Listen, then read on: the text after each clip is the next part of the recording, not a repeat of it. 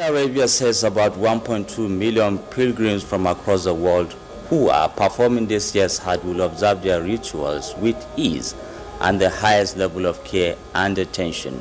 Saudi Minister of Hajj and Umrah Tawfiq Al-Rabiah at a press conference in Riyadh stressed the need for the pilgrims to adhere to the regulations. Tope Alabi reports that NAHCON says Nigerian pilgrims are complying with the regulations. The regulations.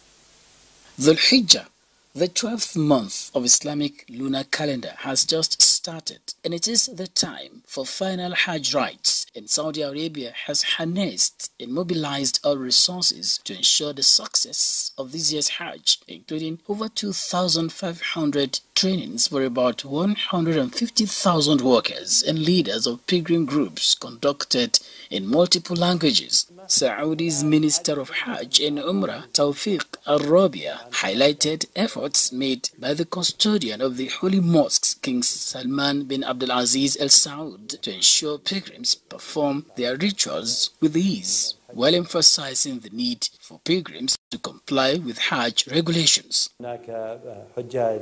We launched an international campaign to raise awareness about the dangers of violating Hajj regulations, fake campaigns, and electronic fraud practices. This campaign spans more than 20 countries globally. Meanwhile, the National Hajj Commission of Nigeria, NAHCON, says pilgrims are observing their rituals comfortably and orderly without violating Saudi regulations. We have been doing our best uh, inshallah, and we are also getting cooperation from the Saudi authorities. And so far, we have also been getting cooperation with the pilgrims. So that is what makes our works very smooth and seamless.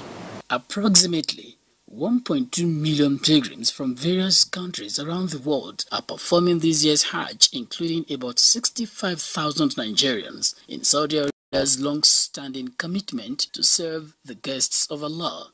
Tokbe Alabi, NTA News.